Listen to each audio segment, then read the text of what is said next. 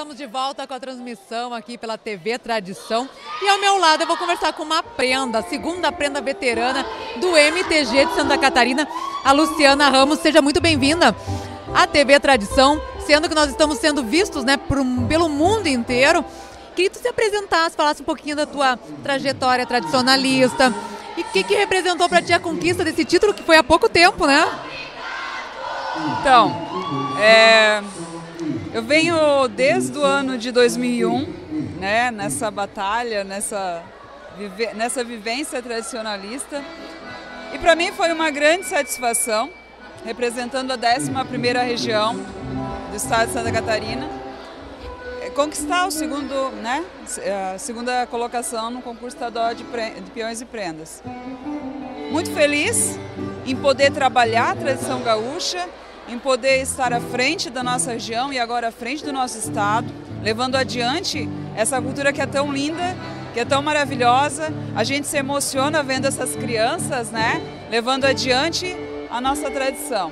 Então é uma grande alegria e queria também aproveitar para parabenizar a administração municipal de Abdom Batista e, e também ao Giovanni Premier, que foi idealizador desse desse grande evento, né?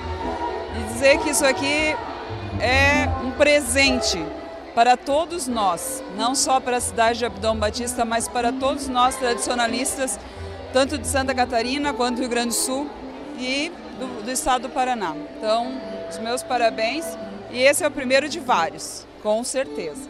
Esperamos que sim. Vai ser uma pergunta que mais tarde eu vou fazer para o prefeito municipal. Uh, Luciana, o, o, principal legado de uma prenda são seus projetos, né? O que, que tu vai desenvolver como prenda do estado de Santa Catarina? Bom, a gente está agora no começo do trabalho, né? Estamos é, fazendo reuniões ainda. Agora, essa, na próxima semana, nós iremos sentar com todo o prendado e a gente tem vários projetos. Né? A gente pretende, principalmente na 11ª região, que é uma região que não tem a parte artística sendo desenvolvida. O único grupo que desenvolve essa parte artística é o Grupo de Artes e Cultura Santuário de Chupos.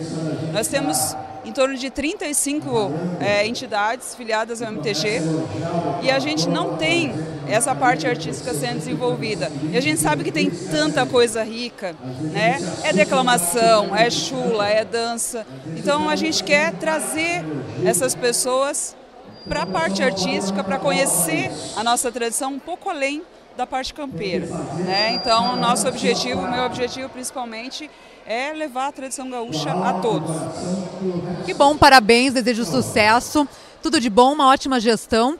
E nós continuamos aqui então pela TV Tradição, lembrando que quem entra agora no tablado é a invernada juvenil do CTG Sinuelo.